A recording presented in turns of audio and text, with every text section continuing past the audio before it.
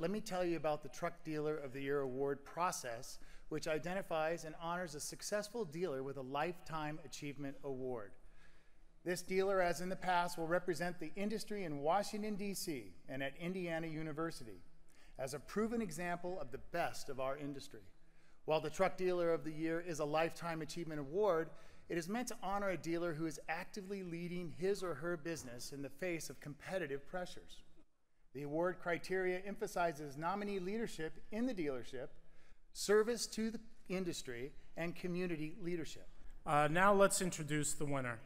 Richard Reynolds, president of Peach State Truck Center.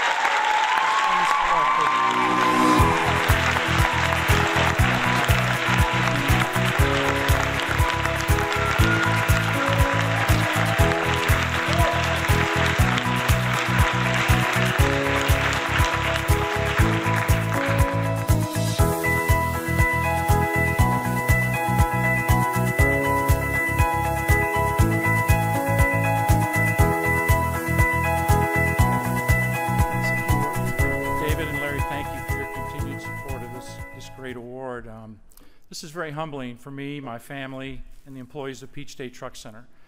First, I'd like to congratulate the other nominees. All of these men are great dealers and candidly are very worthy to be standing where I'm standing right now.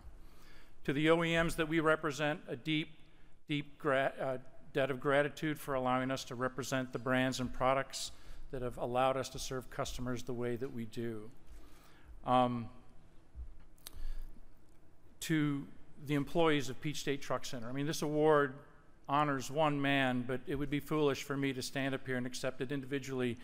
Uh, there are 600 sets of fingerprints that are all over this trophy and all over what we do every day that have contributed to, to this great honor. And several of my key leaders are with me today to help uh, enjoy this moment, and my deep gratitude to you guys for all that you do day in, day out for our, not only our employees, but also our customers. Um, there's two men that should be with me on the stage today my father and brother, both whom have passed away recently. Um, their influence, their counsel, their friendship, their love is what really is represented in our company today, and, and this great honor is a, a beautiful way to honor their memory. Recognitions like this don't come without significant sacrifice.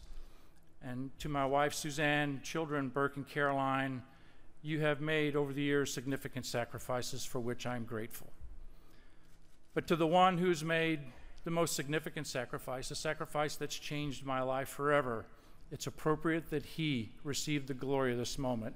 It's appropriate that the glory of this moment goes to my Lord and Savior, Jesus Christ. Thank you for this honor. God bless. Have a great convention.